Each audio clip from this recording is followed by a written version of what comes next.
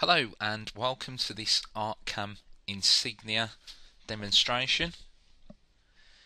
What I'm going to be doing today is giving you a brief introduction into the world of ArtCam Insignia. Now recently we have added a few new features into ArtCam Insignia and these have been brought over from ArtCam Pro.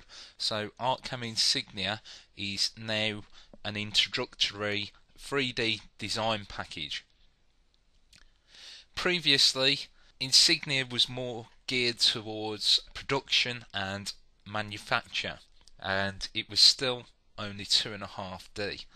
So, what I'm going to be doing today is basically doing a little bit of design within 3D. Just sh showing you some basic things that you can do with ArtCam Insignia now. And I'm just going to briefly touch on the toolpaths because there's not a lot in there that's changed to be completely honest. So what we're going to be doing is creating this quite basic sign. I'm just going to show you how to get the textures and how you can create different 3D effects. So the first thing that I'm going to do is go to File and I'm going to Open and I'm going to open this peppers image here. So it's just got some red peppers there and I'm just going to open that. I'm going to leave this at the default sizes and OK that and then you can see that that's brought in my image. So the first thing that I'm going to do is create a bitmap to vector. Now, if you're familiar with ArtCam Express, you will have seen this quite a lot. So what I'm going to do is just reduce the colours. Now, as you can see, this is a, colourful image, so it's got lots of different colours in here, in the colour palette down the bottom. So I want to bring this down just until I can get a good vector around the outside of this. So if I bring it down to 2, you can see that that gives me uh, the vector what I could do is bring that back up, let's say to 4. Let's say that I just wanted to use this dark brown colour. So let's OK that. And I'm going to select the dark brown as my primary colour and create the vectors. Now, if I toggle the contrast down, just zoom in, let's say here, you can see that that's given me some really nice vectors. It's not following all of the pixelation around there. So what I'm going to do now, I'm going to do this wrong on purpose, so just in case you see me make a mistake. So what I'm going to do is just go to the 3D view and select the outside vector and I'm going to open up the shape editor and I'm going to create a dome on this 45 degrees with a 1mm start height. Now this is a new feature within ArtCam Insignia. It's been brought over from ArtCam Pro. Now, this is the basis of creating 3D shapes within ArtCam. What you can do with this is to create domes, you can create beveled edges, or you can create flat surfaces. Now, if I select dome, what you can do is change the angle of this. So I can bring that right up to a full radius I could bring that down to whatever I wanted. I could enter the angle. I could do the same thing with the beveled edge. And with the flat, what I can do with that is enter a start height, and that tells me the height that I'm going to create this flat surface at. Now, if I were to do that with the beveled edge, it would create a 1mm flat and then create the beveled edge. And the same is true with the dome. Now I'll just explain about these here. Um, we have limit to height. So basically, if you set that, let's say set that at 2 millimeters, the dome will never get above 2 millimeters. So this will create, let's just add it, this will create a radius around the edge, like so. Now you can see that this looks really bad at the moment. I'm going to sort that out in a moment.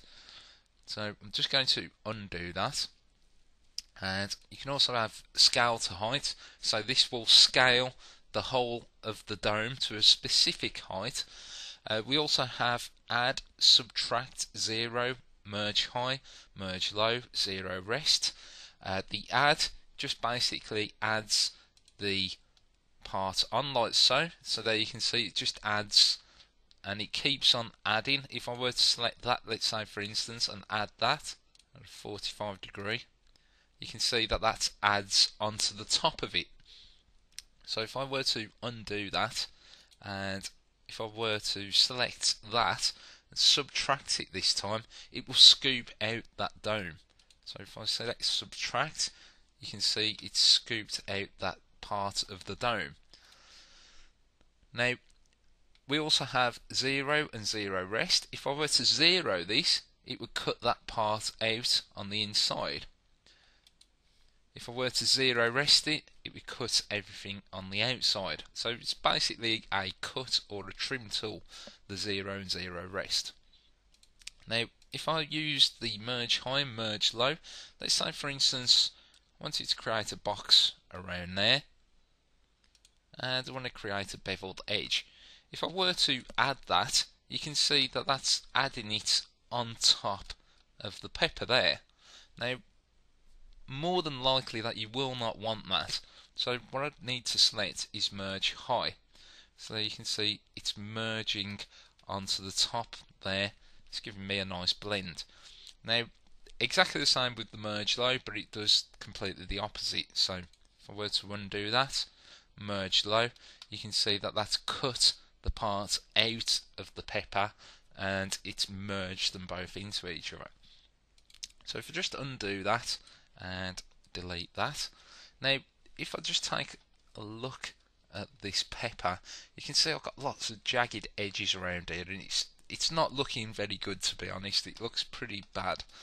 So what I'm going to do is just show you how to sort that out. So if I press here, what this does, it resets the relief. And if I take a look under Untitled here, and just take a look under where it says artwork, you can see that it's the resolution is 300 by 300 pixels. So this is a really, really low resolution model, and it's not really good enough to be completely honest. That's why we're getting those jagged edges. So if I just hover over here, and select the adjust model resolution, and I'm going to change this anywhere above 1500 will be fine and OK that. And there you'll see it's changed the resolution of that. And now if I were to create my dome let's just change it back to 45 and add that. You'll see that I get a much crisper edge and it looks a lot nicer. So there you can see just close the shape editor just zoom in you can see I've got a much nicer edge and looks a lot nicer. Here you can see I've got a 1mm start height so it's adding a 1mm flat and then creating the dome for me. Turn off the vectors turn off the zero plane if I wish and there you can see I've got some peppers. What I'm going to do with these is add them to my clip art library. So if I select here for Relief Clip Art Library, here you can see I've got my Relief Clip Art Library. Now this is in all of the versions of ArtCam. I have well over 500 pieces of clip art within there for you to use. So all of these are 3D pieces that you can just drag into ArtCam. And I'm going to create a new folder. Should already have been created, but what I'm going to do is go new and then come down to reliefs and then come down to my red peppers folder. Select that and press OK. There you can see I've got no uh, documents in there. I've got no images or reliefs in there. What I'm going to do is grab this relief and drag and drop it into the relief clip art library. Now you can see that that's created a relief for me. So I can close that now. Now I don't need to save this because it's already saved within the Relief Clip Art library. So what I'm going to do is go to Open and I'm going to open this image this time, this red peppers image. I'm not going to save the changes, it's already saved within the Clip Art library. And so here you can see this is quite large at the moment. I'm just going to bring it down to about 300 millimeters square and if you take a look at this you can see it's just a red and black image of the text that I want to use what I'm going to do this time is not use the bitmap to vector. I'm just going to bring the colours down using the reduce colours here. So there you can see again lots of blacks and reds within there. I can bring that down. If I bring it down to 2 just got a red and white image. Bring it back up to 3 so the black comes back and I'm going to OK that. Now previously I showed you how to use the shape editor uh, working with vectors.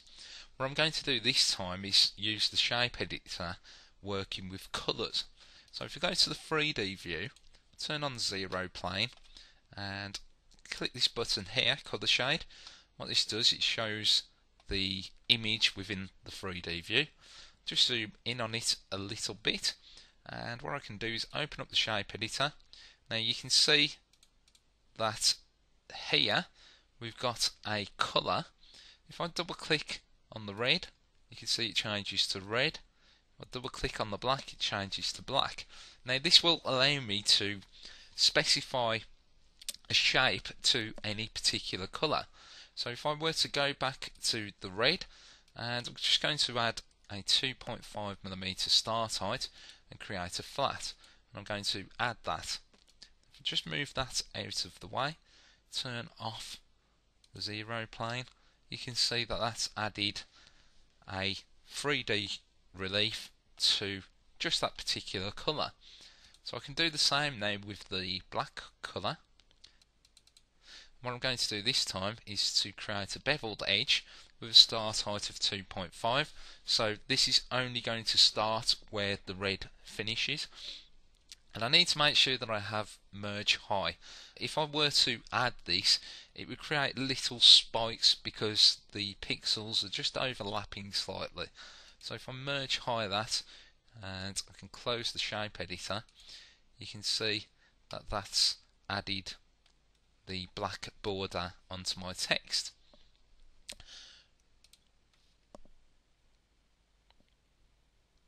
So what I'm going to do now is to import the chilies back from the clip art library. so if we go back to the 2D view and open the relief clip art library, there you can see my peppers and what I'm going to do is to just move these and make them a little bit smaller. Let's say like so and I'll move those to there maybe a little bit smaller still. Let's say round about there. Now if I take a look on the 3D view I can check what the height is. So if I just rotate around you can see the blue is my clip art that I've brought in. What I can just do is enter the range there.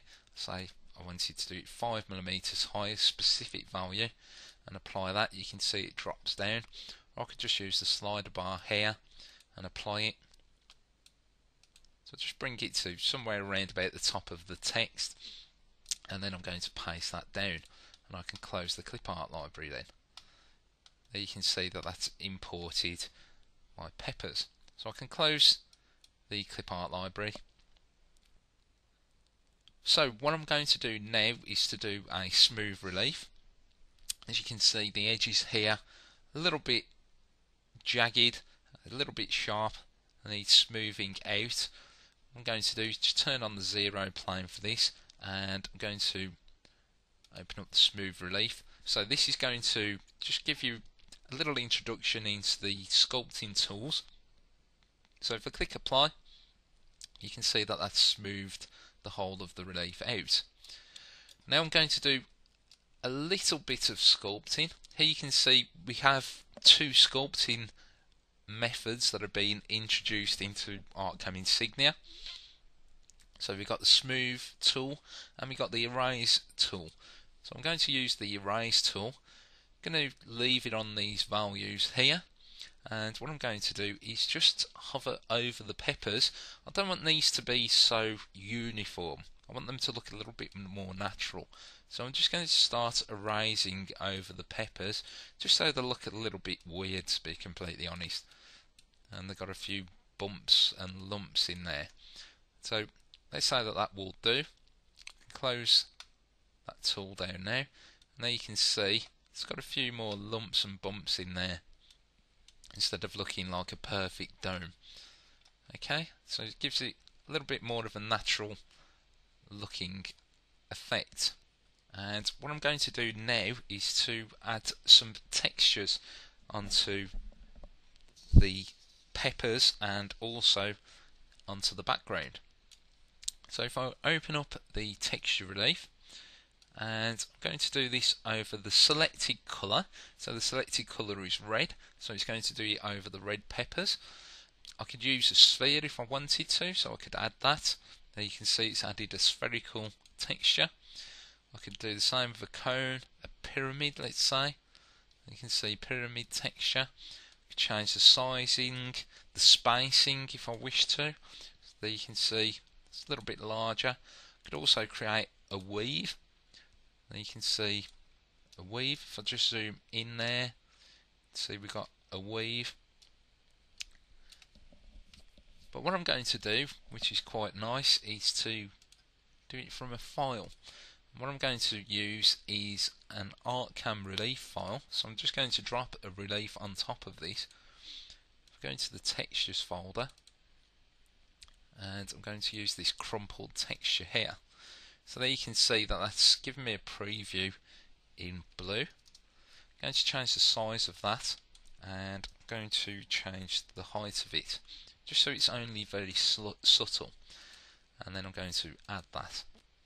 Now if you just take a close look at the R here and the P you can see it's slightly added this crumpled texture onto it. I didn't want it to be too harsh because what I'm going to be doing is creating another texture behind that. So I'm just going to delete all of my vectors for a moment and I'm going to select this tool to create a boundary from relief. And I'm going to click here and that will create vectors around the boundary of my relief.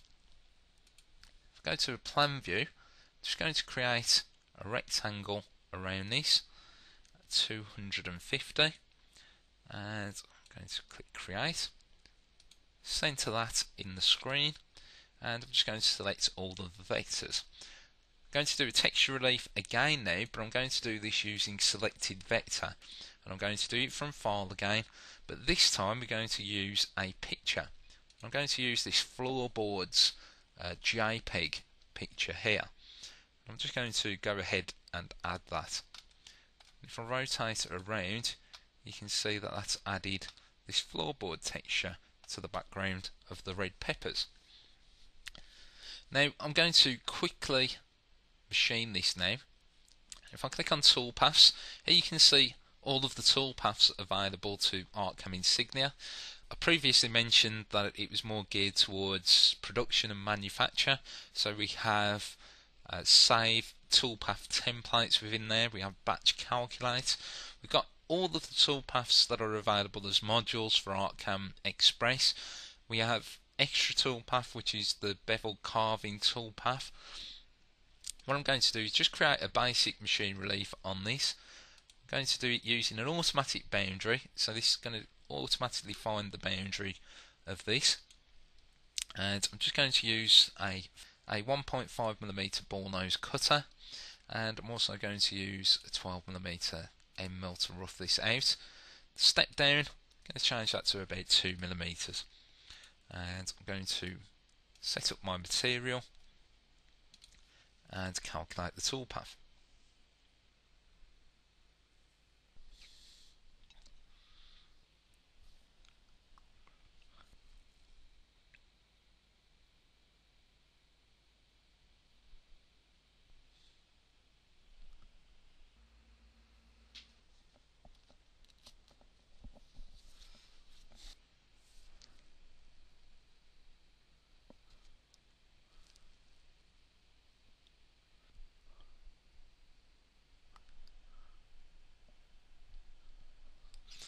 So there I have my toolpaths for the machine relief. Just going to cut the part out.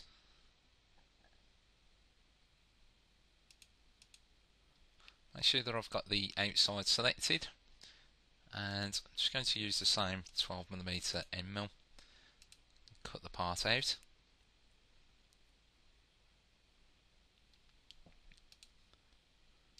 I can simulate this